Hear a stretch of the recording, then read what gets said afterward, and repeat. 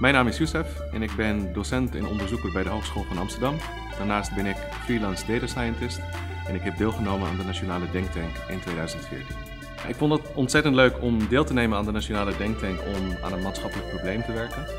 In 2014 was het onderwerp uh, Big Data. Ik vond de techniek achter Big Data heel interessant.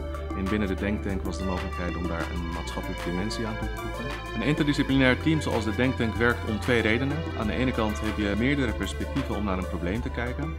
En aan de andere kant heb je meerdere skills om oplossingen te kunnen uitwerken. Nou, tijdens mijn studie miste ik de koppeling met de praktijk. En na de Denktank ben ik aan de slag gegaan met de implementatie van één van de Denktank oplossingen. Samen met mede-denktankers hebben we een summer school uh, opgezet om studenten in promovendi om te scholen tot data scientist.